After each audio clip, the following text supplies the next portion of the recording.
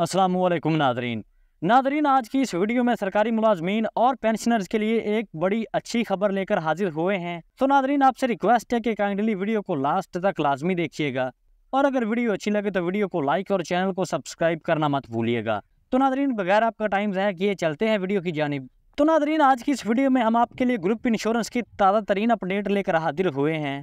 तो नादरीन जैसा कि आप जानते हैं कि रिटायर्ड सरकारी मुलाजमीन को ग्रुप इंश्योरेंस की रकम उसकी रिटायरमेंट के मौका पर नहीं दी जा रही और मुलाजमीन का अरसा दराज से यह मुतालबा चला आ रहा है कि उन्हें रिटायरमेंट के मौका पर ग्रुप इंश्योरेंस की रकम भी अदा की जाए। जैसा कि सुबह बलोचिस्तान और के पी के, के मुलाजमीन को रिटायरमेंट के मौका पर ग्रुप इंश्योरेंस की रकम मिलती है उसी तरह हमें भी दी जाए। तो नादरीन अरसा दराज से हुकूमत इस मुतालबे को नहीं मान रही। तो नादरीन इस मामले पर हाई कोर्ट और सुप्रीम कोर्ट ऑफ़ पाकिस्तान का फैसला भी आ चुका है। लेकिन नादरीन, यहाँ पर बात यह है कि यहाँ पे हुकूमत पाकिस्तान इस पे अभी तक अमल नहीं कर रही थी। तो नादरीन, मौजूदा कानून के मुताबिक ग्रुप इंश्योरेंस की रकम उस मुलाजम के अलावा यकीन को अदा की जाती है, जो दौरान सर्वस वफात पा जाता है। या रिटायरमेंट के बाद पाँच साल के अंदर उसकी मौत हो जाए। यानी कि रिटायरमेंट के बाद पाँच साल के अंदर वफात पा जाए तो भी उसे ग्रुप इंश्योरेंस की रकम मिलती है। या फिर वो दौरान सर्वस वफात की सूरत में उसे ग्रुप इंश्योरेंस की रकम दी जाती है। लेकिन मुलाजमीन का यह मुतालबा है कि उन्हें ग्रुप इंश्योरेंस की रकम रिटायरमेंट के मौका पर ज़रूर दी जाए। जिस तरह जीपी फंड की रकम रिटायरमेंट के मौका पर दी जाती है, क्योंकि ग्रुप इंश्योरेंस की रकम मुलाजम अपनी सैलरी से हर माह कटवाता रहता है, जिस पर उसका हक है और उस हक से मुलाजमीन को महरूम रखा जा रहा है।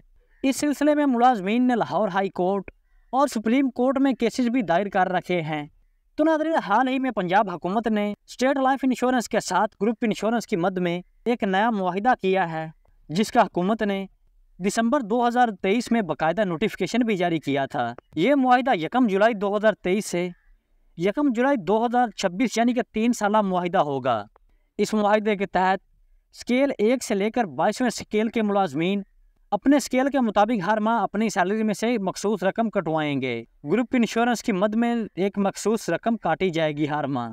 ग्रेड एक से ग्रेड चार के मुलाजमीन का ग्रुप इंश्योरेंस की रकम में से चौहत्तर रुपये में से एक चौथाई प्रीमियम, अठारह रुपये और पचास पैसे हुकूमत खुद अदा करेगी, जबकि बकिया पचपन रुपये और पचास पैसे मुलाजम की तनख्वाह में से माह काटे जाएँगे। इस माहे के तहत दौरान सर्विस वफात पा जाने वाले मुलाजिम और रिटायरमेंट के बाद पाँच साल के अंदर वफात पा जाने वाले मुलाजम और रिटायरमेंट के बाद पाँच साल के अंदर अंदर वफात पा जाने वाले मुलाजिम को उसके स्केल के मुताबिक ग्रुप इंश्योरेंस की रकम अदा की जाएगी। तो नादरीन, ये थी आज की वीडियो। हाजिर होते हैं एक नई वीडियो के साथ। अल्लाह हाफिज़।